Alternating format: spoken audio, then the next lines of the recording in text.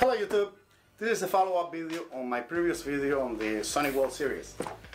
This is the SonicWall TZ400. It's a small business uh, firewall that will uh, meet all the requirements uh, to keep your business secure and it comes with uh, added services and features that you can license like user VPN, uh, up to 25 users I believe, and different other features that will keep your network secure if you're in a small business environment. We just ordered this for a client, so I'm gonna open it to show you what's inside the box and what you can expect from the package from the manufacturer. Let's open it up and see what's inside.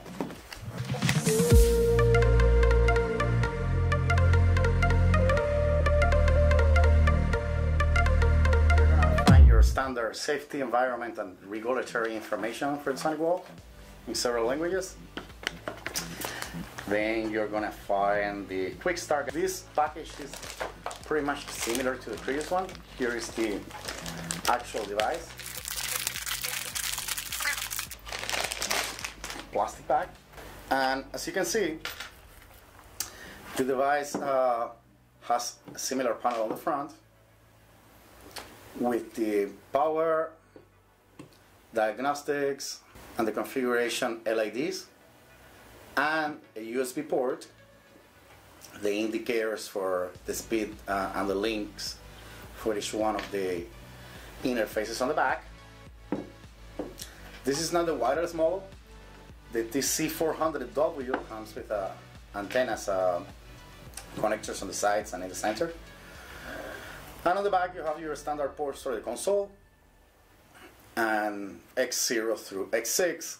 Uh, as in previous models, the LAN connection or your local area network connection, you will connect it to the LAN port here on X0. That's the standard configuration. And on X1, you will configure the ports X2 through X6, which you can configure for any interface that you want to create. As in previous model, they keep using um, this power adapter jack, which is specific to SonicWall. So let's see what else, what else comes in the package aside from the firewall itself. Send you a regular network cable, Ethernet, the power adapter plus the power cord that you're gonna need for the power adapter. And that's all that comes in the box from SonicWall. So let's connect it to the network.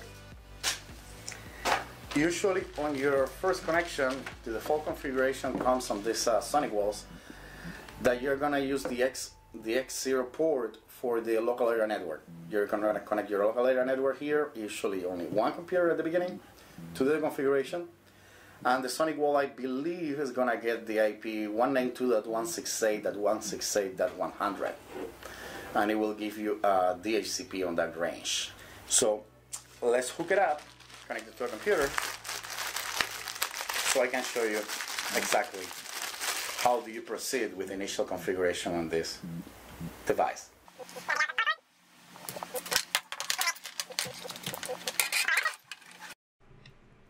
Once you connect the SonicWall firewall to your computer on the X0 interface, the default LAN, your computer should acquire an IP address on the range 192.168.168. If you do ipconfig, you're gonna see that I have two network interfaces on this computer and I connected the SonicWall firewall to this uh, Ethernet uh, adapter and as you can see your computer has acquired an address within that range. The default gateway, if you notice, uh, you're gonna have one of the default gateways uh, gateways to be the SonicWall. So we just need to copy that your that IP address and browse to it on a network on a on an internet browser. So once you go there, you're gonna see a couple of options. You can do the SonicWall setup guide, which is sufficient for most uh, use case scenarios. And if you want to get into the manual configuration, then you can click here. If you decided to go with the manual uh, option to do your own configuration, the default username and password are gonna be username admin and the password is gonna be password. So I'm just gonna enter those to log into the to the SonicWall. And then from this screen there is a number of things that you can do. Most importantly, click on quick configuration and use the setup guide if you want to do that and do first a password change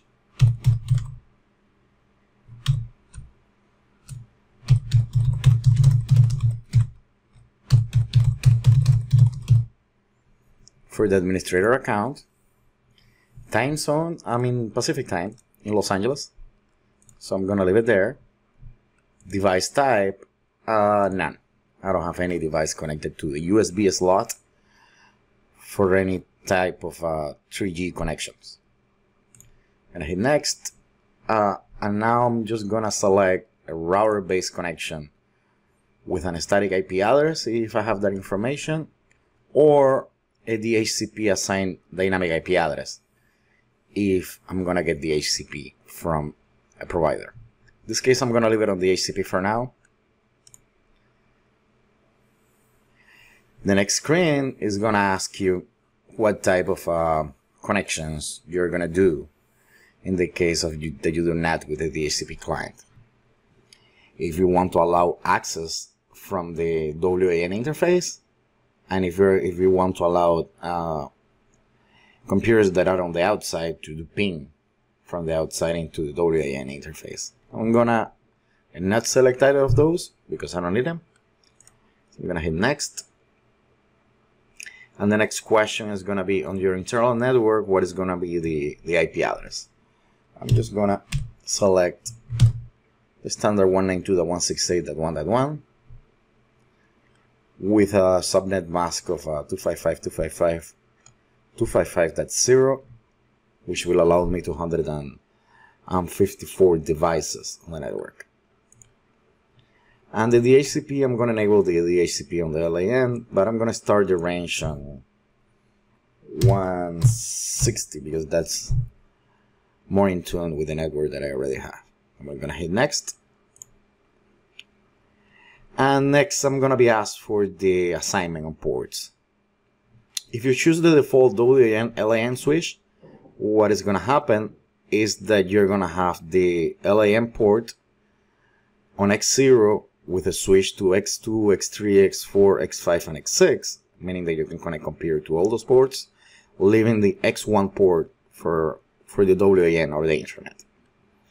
If you choose the second option, you're gonna have a different configuration a little bit, which is gonna be the LAN on X0, X3, X4, X5, and X6, the WAN port for the internet on X1, and an optional interface on X2.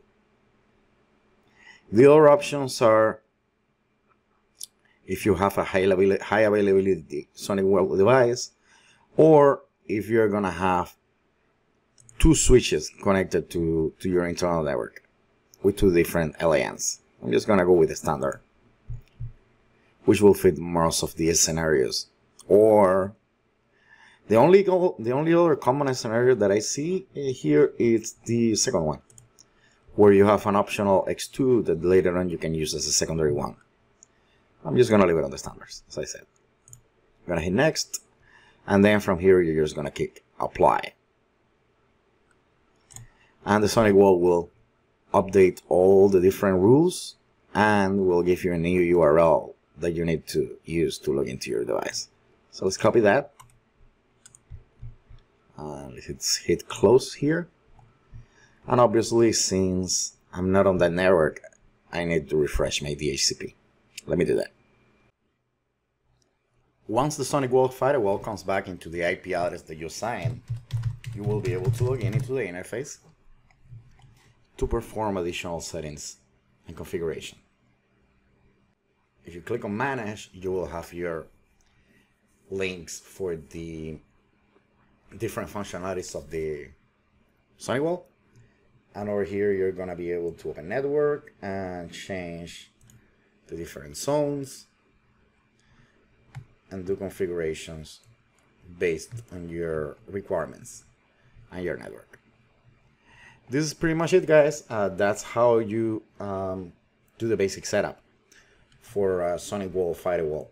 We're gonna continue in in another video doing specific configurations for VPN, DHCP, and different modes where you can change the interfaces uh, and do different uh, configurations with the features of this, this uh, type of devices. See you in the next video. Thank you so much for watching.